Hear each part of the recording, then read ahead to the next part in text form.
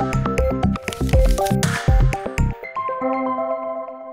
passagem dos 144 anos de fundação da colônia imperial de Azambuja, em Pedras Grandes, no extremo sul de Santa Catarina, foi lembrada na Assembleia Legislativa pelo deputado José Milton Schaefer. Segundo o parlamentar, 28 de abril de 1877 é o dia da chegada no estado de cerca de 90 famílias de imigrantes italianos, marcando o início da imigração na região. Atualmente, a estimativa é que 60% da população catarinense tem a ascendência italiana.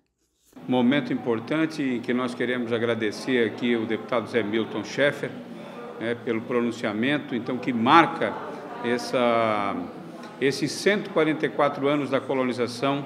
é, dos italianos na região sul de Santa Catarina a partir da colônia imperial é, de Azambuja. Então, fico muito feliz de, como deputado, poder estar juntamente aqui com a administração municipal, prestando essa homenagem a Pedras Grandes, a Zambuja e a todas as famílias de imigração italiana pela história de resiliência, de luta, de dificuldade, mas de vitórias, que hoje contribuem muito é, social e economicamente com a, o estado de Santa Catarina.